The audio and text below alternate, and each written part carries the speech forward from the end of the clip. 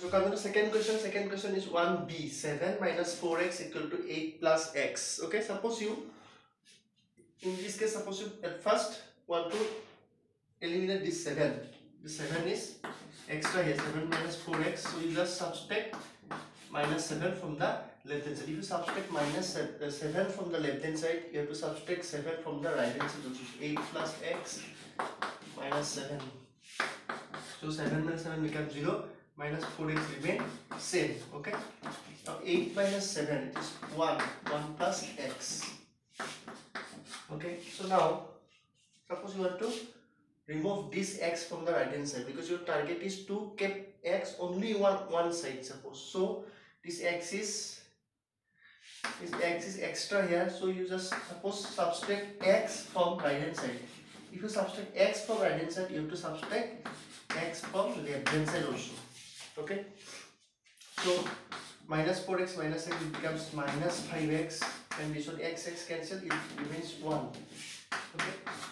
Your, tar your target is what? To get only x in the left hand side. That means 5x in this case 5 is multiplied with x so you just write minus 5 something like this.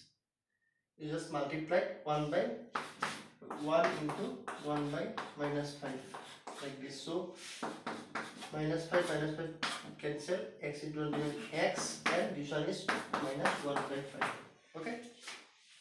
Clear? So now this, this is a long method. Okay? Now you I will solve the this same question by the second method also.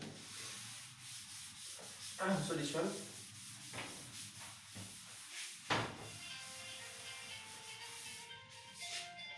So this one is 8 plus x.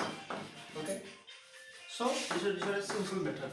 Your task is only keep x on the left hand side or the right hand side. So in this case 7 7 minus 4x equal to 8 plus x. Now look at this one. 7 is here and 7 is add with uh, minus 4x. When 7 goes to that side it becomes subtraction. So minus 4x remains same. This one is 8 plus x remains same. 7 is goes to that side. 7 is plus here when goes to that side it becomes subtraction.